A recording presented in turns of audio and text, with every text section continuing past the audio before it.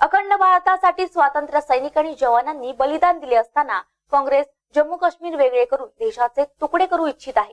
आणि या त्यांच्या भूमिकेसोबत शरद पवार आहेत असा आरोप पंतप्रधान नरेंद्र मोदी यांनी शुक्रवारी नगरच्या सभेत बोलताना केला आहे. राष्ट्रीयत्वाच्या मुद्द्यावर काँग्रेस सोडलेल्या पवारांनी एका देशात दोन पंतप्रधान या काँग्रेसच्या भूमिकेवर मौन बाळगलं आहे.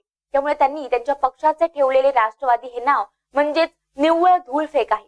त्यांचे सहकारी असलेले काँग्रेस दोन पंतप्रधानांची भाषा करत असताना स्वराज्य निर्माण करणाऱ्या छत्रपती शिवाजी महाराजांच्या भूमीतील पवारांना झोप कशी येते असा सवाल मोदींनी केला. नगर मतदारसंघातील भाजपचे उमेदवार डॉक्टर सुजय विखे आणि शिर्डीचे शिवसेनेचे उमेदवार सदाशिव लोखंडे यांच्या प्रचारासाठी मोदी नगरला आले होते. येथील निरंकारी भवनामागील मैदानावर त्यांच्या सभेला अलोट गर्दी पाहायला मिळाली. मुख्यमंत्री फडणवीस केंद्रीय सामाजिक न्याय मंत्री रामदास आठवले जलसंपदा मंत्री महाजन पालकमंत्री शिंदे यांच्यासह अनेक मान्यवर उपस्थित होते. महाराष्ट्रातील बहुतांश जाहीर सभातून मोदींनी शरद पवार यांना टार्गेट केलंय.